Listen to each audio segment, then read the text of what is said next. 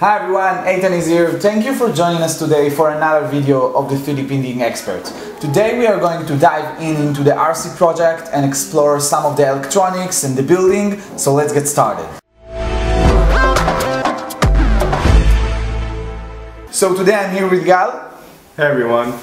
Alright, so today we're going to dive into the electronics part of the RC car because I realized that there's lots of information missing online and we're trying to fill in some of the gap. But before that, I'd like to talk about some of the parts. Most of these parts were printed in ABS. I thought it would be the right decision because it will have the, the flexible give for an RC car so the parts won't break. But one of the parts that didn't turn out that well is the rear spoiler. The reason being that it has some extreme overhangs. So I uploaded the file to PrintSYSt and retried it in PLA and it came out just amazing. So let's go to the computer and show you how it works. Okay, so I got into PrintSYSt website, which I will put the link in the description. We will upload the rear wing model that didn't print properly with ABS. Here we can see the model preview. Let's choose the printer that we are going to use. In our case is the Ultimaker 2. Now the best printing orientation and parameters going to be set automatically using PrintSYSt algorithm. When the optimization process is done, you will be able to get a ready to print file. Let's send it to the printer and see the results.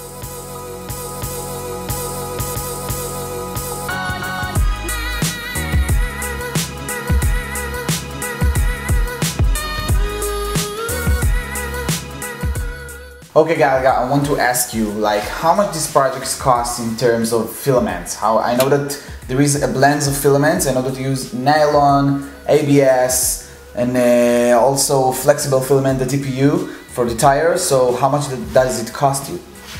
Well, actually, it's not that expensive. I think that altogether, I maybe around the $20 mark, including the nylon and the, the TPU. It's pretty lightweight. Of course, you want to make it as light as possible, you know, stay on the low infill. I think most of these parts are printed around 10% uh, infill.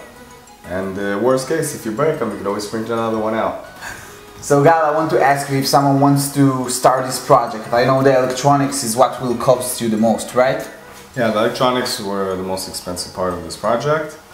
And uh, of course, the good thing about them is you could always use them for any RC car. If you have some RC car laying around home, you could take out the parts and use that instead. And uh, it's pretty generic. Generic motor, generic receiver, the servo, they fit pretty much all the RC cars. So you don't have to go out and buy them. Okay, so maybe you will show us what kind of electronics do we have. Okay, so here we have a two cell LiPo battery. I think you can also install a three cell, but this gives me enough power and enough strength to do anything with the RC car. For beginners, it's more than enough. Second part we have here is the servo. It's already sitting in its mount, as you can see I just took it out of the car assembled. Now because I took the cheap side, I just took a paper clip and used it as the connecting rod between the servo and the, and the steering system. Okay, this is our third part, it's the speed controller. It connects between the battery and the motor and also connects to the receiver. Right, so here we have our fourth part, the receiver. It has up to three channels, so that means we can connect, control the motor, the servo, and we can add a third uh, surprise that we might do in future videos. Okay, and here's our fifth part, which is actually the motor. And the only trick here is to tighten the motor in place in a way that the gears are touching strongly enough so they won't tear off their gears, but not too hard so that they'll deform and dislocate. Alright, so the last part, I think is the coolest one, and the most expensive one is the remote, right? Well yeah, well the remote as I said, it comes with the receiver, but this is a great RC remote. It's what's recommended on, uh, on Daniel Noree's website. And um, you can use it for any project afterwards. If you want to change, you want to mod stuff, you want to do any remote control project. It's really simple remote and you could change lots of settings, control the acceleration, change around the channels. It's a great product. Alright, so let's uh, start from the assembling of the electronics. Alright, let's get started. Alright, so now we're going to start with the servo. As you could see, I already have the mount pre-installed. I also went on the cheap route here and I took a regular paper clip and bended it to right shape. Okay, so now what we do is we just First I stick it into its slot.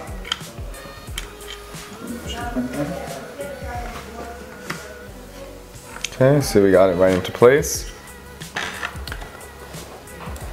Alright, so we flipped it over. Now we just stick them in.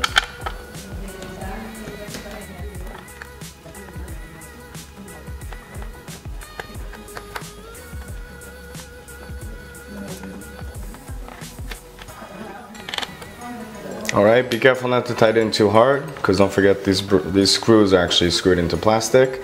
There's no nut on the other side so we don't want to make it, we don't want to break it apart.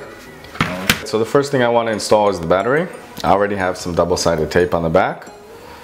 So I'm just going to place it in the middle because it's the heaviest component and we want to keep the mass in the middle. Alright, so now we're going to install the speed controller. So I'm just going to put it on the side by the battery. And we need to connect the bullet connectors. Make sure that you press the nut all the way in. Just hide them away. Last part is the receiver. Okay, so also for the receiver I'm going to add some double-sided tape so it won't fly around inside. Before I stick it in, I'm going to con connect the wiring. So the only thing you have to be careful is the orientation and the placement.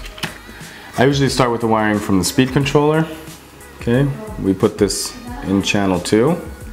Just make sure that the white cable is closest to the antenna. And then I take the servo. Here you take the orange cable and make that one closest to antenna. Okay, now just stick it somewhere where it won't bother. So always make sure that you turn on your remote before you connect the power to the car, especially if you have wheels on it, because if there's any kind of error, it could fly away or drive away. And uh, my receiver came prepared to the remote because I bought them together, but there's a procedure for pairing that we might do in a later video. So, of course the remote's on, turn on the power, we see the steering wheel move and we hear the beeps. Let's give it a test. Steering. And let's put out the motor. It looks like it could drive even without wheels. Okay, so let's just disconnect. All right. So now we're going to continue with the build.